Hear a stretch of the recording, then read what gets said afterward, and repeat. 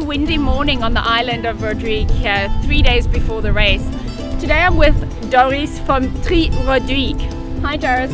Hi. Doris, how long is the one zip line that the teams will be doing? The one zip line is uh, 420 meters long and more than 100 meters high. And it's the highest zip line in Indian Ocean.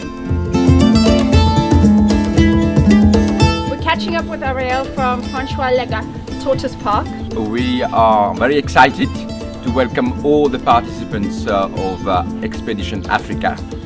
The tortoises are really excited as well.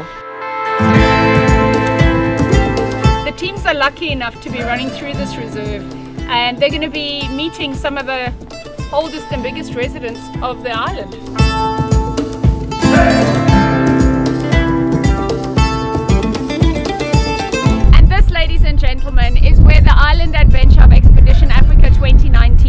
Will begin on Sunday, Mourouk Beach. This is an island of proud tradition and sailing history along with all their fishing.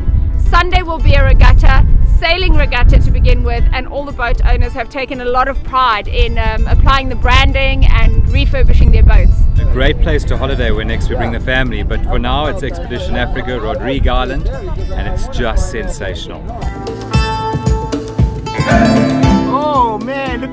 Look at this thing guys. Hey.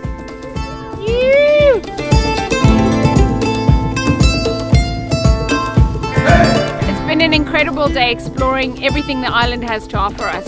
And teams of pretty much all of them have arrived and they're welcoming each other with open arms. It's a family of adventure races.